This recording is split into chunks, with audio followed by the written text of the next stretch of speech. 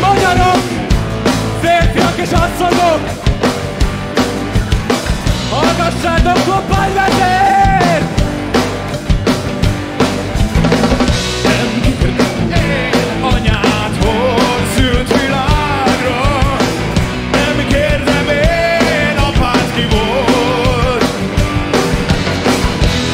annyit kérdezek